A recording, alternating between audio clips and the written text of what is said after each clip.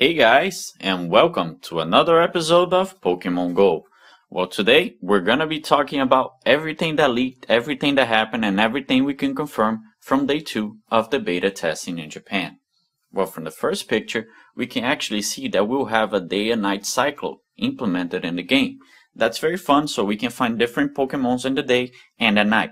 People are saying that at Pokestops, we're getting more items during the nighttime than during the daytime. Now, that might be just an speculation, but that's what the actual players are saying. From the second picture, we can see that all 151 original Pokemon were included in the game. And also, from those pictures, they got the actual image from inside the game on how the Pokemons are gonna look in the Pokedex. Another information we got from inside the game is that we have three classes of Pokemon, Normal, Legendary, and Mythic. Also, 232 moves were confirmed, 95 of which are quick moves. These include moves that are not in Pokemon Red, Blue, Yellow, or Green. So there are probably gonna be an expansion, an update, or something for the next generation of Pokemons. Also, a dodge function was found in the game.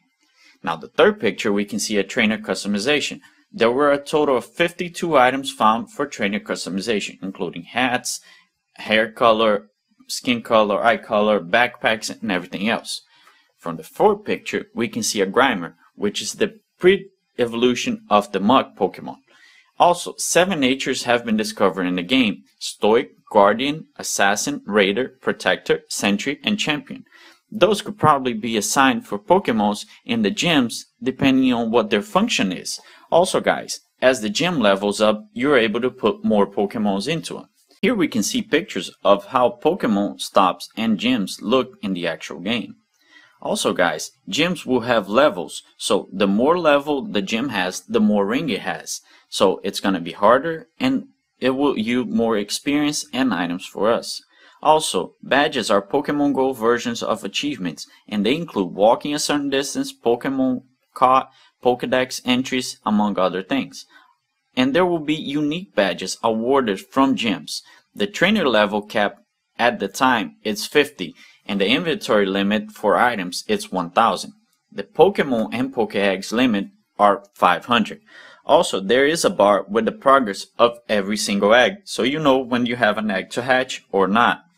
In the next picture, we can see the in-app purchases, and they've spotted inside the game that you have balls, medicine, food, and gem bundles.